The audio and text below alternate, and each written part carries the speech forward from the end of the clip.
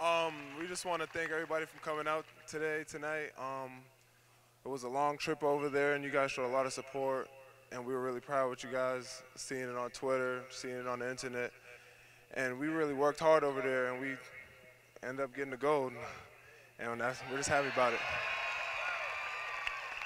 Thank you again. Here's Perry.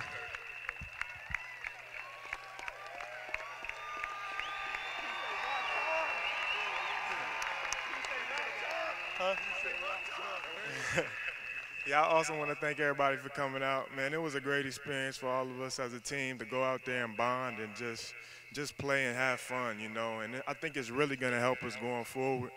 And we're all excited about it, you know. So, uh, man, I, yeah, I just want to say we're excited to uh, see you guys on late night. So, yep.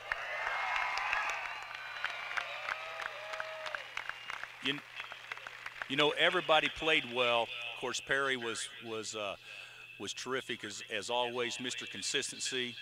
We all saw Wayne Selden come into being a great player, and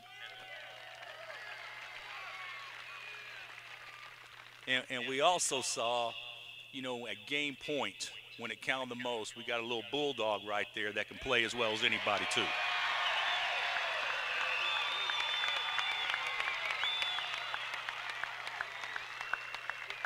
He, he was a poodle when he got here. Now he's up to a bulldog. So Lando played great. Hunter played great. The entire team, Sheck and Gerald both did great. Jamari was rock solid. And then, of course, Evan and Tyler, when they got their opportunity, they made the most of it. So thank you very much. Appreciate you.